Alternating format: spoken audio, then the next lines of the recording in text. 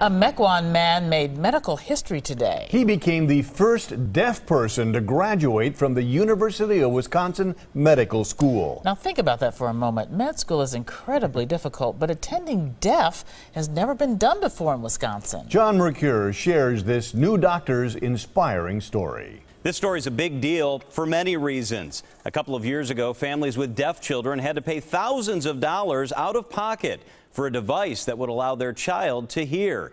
The I team pressed the issue until 2009 when lawmakers finally required insurance companies to help pay for cochlear implants. The change has helped hundreds of Wisconsin families. And now it's helping this man make medical history. Tonight, Josh Ryer did something no other deaf person in Wisconsin has done before. It's picture perfect. Father, son, and man's best friend overlooking the lake. But if you look back, back to when Josh Ryer was just four years old, you'll find not so perfect circumstances.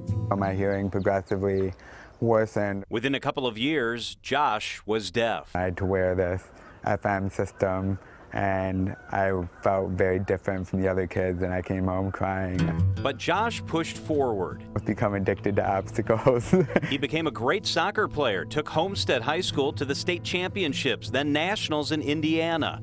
He was also a straight A student, so imagine this father's pride. I don't even characterize it as a disability for him, it's an opportunity. To look at his son and call him by a different title. He is going to be I think, a very significant doctor. Josh is the first deaf doctor ever to graduate from the University of Wisconsin. It gives other people hope. During the beginning of med school, Josh still couldn't hear. It requires so much concentration to get through the day, to read lips or try to understand people. Then he was given the cochlear implant. It took him a while to get used to it and an extra year of college, but he thinks it will pay off just like all his hard work.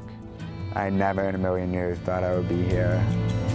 Josh graduated from medical school today. Check it out. Here he is in his cap and gown. He'll start his residency soon. John Mercure, today's TMJ4. Yeah, I uh, have to say, I know Josh and his family. He's a great guy, going to make a great doctor. What an inspiration. Love that story. Well, stock prices closing.